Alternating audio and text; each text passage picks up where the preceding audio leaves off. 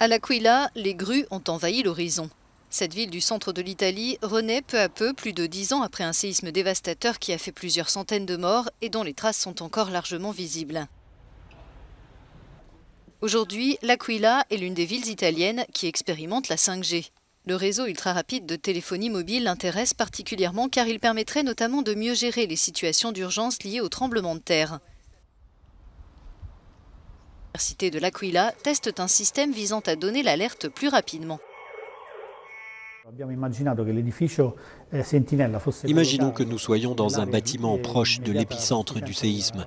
Nous pouvons détecter la secousse et grâce à la technologie 5G, envoyer une alerte aux habitants de la ville de l'Aquila 8 secondes avant l'arrivée effective de l'onde sismique.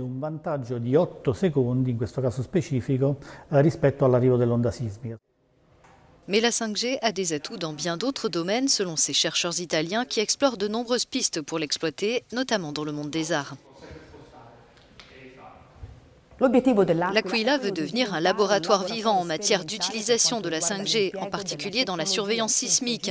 Mais cette vision ne plaît pas à tout le monde. Beaucoup craignent que son déploiement soit synonyme de risque pour l'environnement et la santé humaine. Pour le maire de l'Aquila, cela ne fait aucun doute, sa ville doit devenir un modèle dans ce domaine.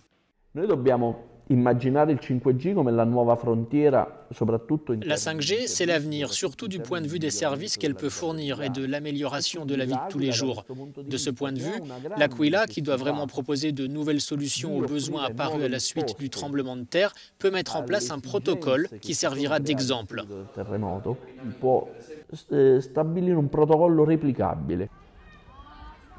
Mauricio Martucci n'est pas du même avis. Il qualifie l'utilisation généralisée de la 5G d'arme dangereuse et compte mener bataille contre cette technologie à l'échelle européenne. Il y a tellement de personnes qui sont déjà malades, qui souffrent de l'exposition au rayonnement magnétique.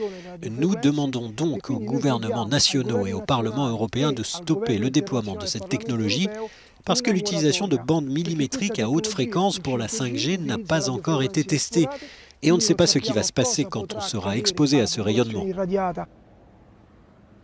Autre crainte, une commission parlementaire italienne a récemment estimé que les inquiétudes quant à la participation de fournisseurs chinois aux chantiers 5G nationaux étaient largement fondées.